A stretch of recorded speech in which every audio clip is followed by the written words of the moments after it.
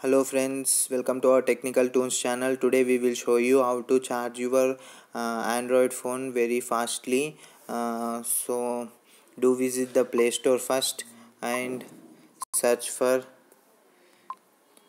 fast charging uh, go to this app fast charging and install the app. It is up to 3 mb uh, do download it and install the app. So once you open the app you all you have to do is click on the start button uh, while you are charging. What it does is uh, when you click on the start button the background apps will be uh, start or uh, stop functioning and uh, your wi-fi signal will be off and other activities uh, in background will be uh, stopped.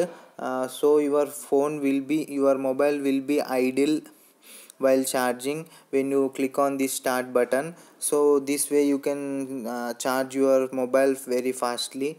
Uh, I don't know whether it works or not uh, but we have seen many positive reviews over this app so we have decided to make a video on this. Uh, we will leave the link in the description below. Do download them do download it and uh, write your opinions on this app in the comment section below. Uh, that's it friends. That's all for now.